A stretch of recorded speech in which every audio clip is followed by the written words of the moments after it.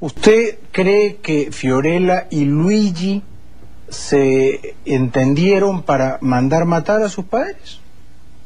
Se presume eso, ¿no? Porque... ¿Usted todo- presume eso? Todo se indica a Fiorella. Y ahí está, qué raro, en mes de julio entró el señor Nelo Tocina Sabacha a pedir una, un apoyo para viajar a, a Italia, porque también contra su padre ha ido Fiorella para hacerle matar. Usted averígüese bien. Estaba en la carceleta acusándole que quería secuestrar a su hija y le rompieron la clavícula y todo eso, lo sacaron y bueno, estaba ahí, pero después de un tiempo le iban a tomar preso de nuevo porque era reo en cárcel del cuarto tribunal. Yo he leído el papel. O pues, sea, Nelo estuvo en la cárcel y casi lo mataron. Mm, La ha hecho pegar los policías. Usted sabe que hay policías buenos como malos, ¿no? Y le rompieron tanta o tanda A- la clavícula. a Nelo, acá. papá. Papá, a papá. Pero lo sacaron y ya la señora, como era una dama, la señora Anita, lo ayudó bastante. Pero después le dio la casa como un hospicio. Y ahí la casa se convirtió como un infierno. Se mandó mudar, per- perdóneme que me exprese así, más claro no puede ser, el mayordomo Cirilo Antay Jacle. Se mandó mudar Bernabé Palomino Rincón El chofer. el chofer. ¿Y qué? Si Fiorella vivía de su madre semanalmente, le mandaba mil dólares para, al departamento para que mantenga a Alejandrito y para sus gastos y aparte le mandaba en víveres. Ya.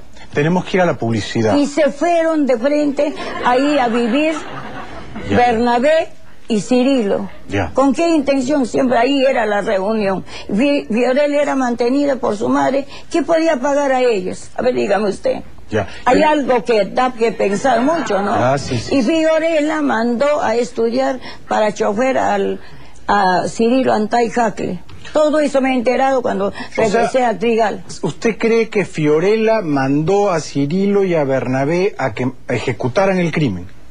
No creo eso, sino ahí han estado, según como me ha conversado Yane, han estado ahí José Llanos Hernández, perdonando la frase, que yo siempre en la sala le digo que es su amante, porque yo lo rechazo, lo desprecio, porque uno de los causantes es él, porque ella es la hermana, se llama Lourdes, y lo ha inquietado a su casa, a la casa de José Luis Llanos Hernández. Ya bueno, pero él es la pareja de Fiorella. Es la- ahora es la pareja, se habrán Ya. casado. A ver, sé entonces, yo, no sé. ¿usted cree que eh, Llanos estuvo ahí? Ya nos estuvo.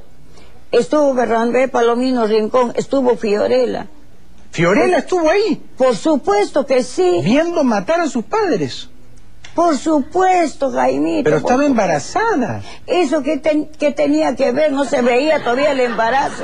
Por el amor de Ah, Dios. Cuando yo he regresado en abril, cuando me han llamado ocho días, después que he escuchado otras cosas. Todo por la plata. Cuando he escuchado esas, esas cosas que Ya. ya al final le contaré, ya ni se le veía la barriga, percibió desesperado. Ya. ¿Por qué? Nelito, cuando entró, hizo cerrar las cuentas de todito, de saga, de las tiendas, de todo, para que no saque ni un alfiler, Ya. que viva su vida. Entonces, ella misma me dijo, yo he vendido mi ropa, yo he vendido mis zapatos, O sea, todo, Nelito la dejó sin plata. sin plata. Le cortó toda la... Y la señora Anita dijo Plata. que el ta- más de eso no solo que lo eh, notarialmente lo hizo Nelito, más de eso que le iba a desheredar. Ya, ya, Eso estaba visto ya. ya. Bueno, hasta ahora sí tenemos que ir a la publicidad. Pero entonces todo fue por plata. Por plata, Por por, plata. ambicia, porque Por la plata codicia, tenía. la codicia. por- plata le, le daba semanalmente. Pero quería más plata. Pero Toda la ella plata, quería plata, todo. si es posible, ella quería toda la plata. Y por debajo entraba la cocinera, le dejaba abierta la, este, la puerta principal. Y como esa casa, usted lo conoce, el, el Sí, dormitorio es el tercer piso. ahí. Primer piso es de los domésticos, segundo piso el comedor, la sala y la cocina. Yo bajaba, le encontraba ahí. Entonces, ya ella subía y se agarraba los adornos más valiosos que tenía de- casi de historia, Fiorella. de muchos antiguos, de sus tías, de Ya. sus abuelos. Ya, Fiorella debe estar ahorita con la lechuza. Va a venir con la lechuza acá, le van a sacar los ojos. Fiorella no la debe querer nada, usted, ¿ah? Nada. Es- bueno, Eso no interesa, Jaimito. Yo estoy con Dios ya, bueno, pues. y yo creo en mi Dios y Dios es en toda religión uno solo para sí, todos. Yo también. Yo por el momento soy mormón. Yo siempre me acomodo a la religión que conviene.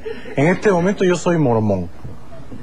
Porque no quiero que me manden matar, me, me- me explico, ¿no? Y yo con mis hijas estoy súper preocupado. ¿eh? Porque esta moda de las hijas que matan a sus padres por, Sí, por pues. dinero, ¿cómo va a ser? Yo ahora a mis hijas ya les he dado todo, toda mi herencia, mi patrimonio, todo está a nombre de ellas. Por si acaso, ¿no? Para cubrirme. No. Sí, sí. este, Ahora no, vamos a la Jaimito, publicidad. Eh, ahora vamos a la publicidad. Vamos ahora a la publicidad. Ya, ya regresamos con Alicia Alvarado. Ya volvemos.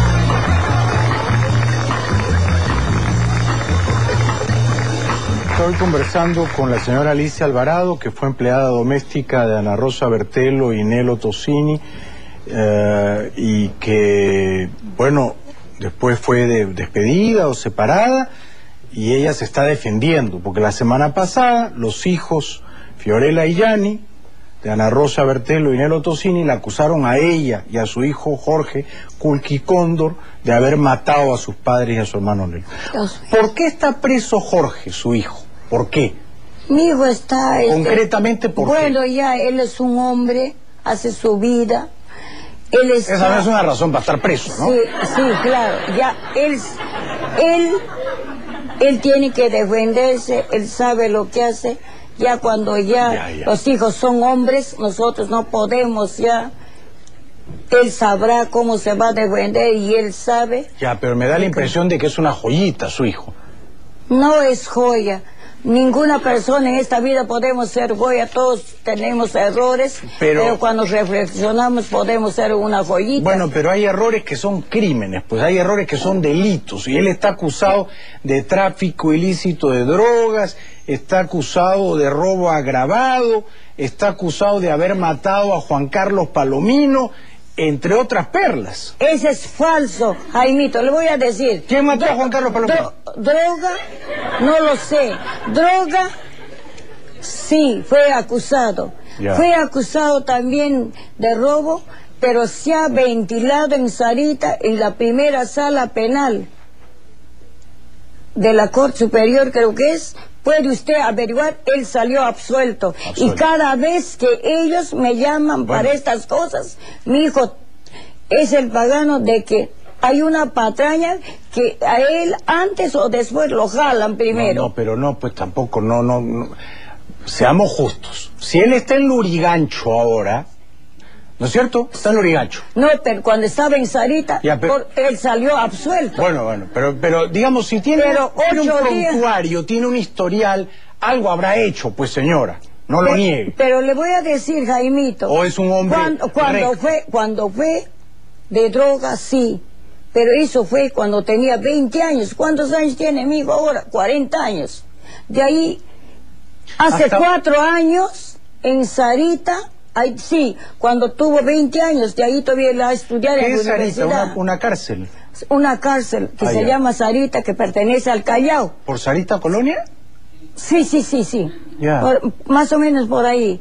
Eso ha, ha sido el 72.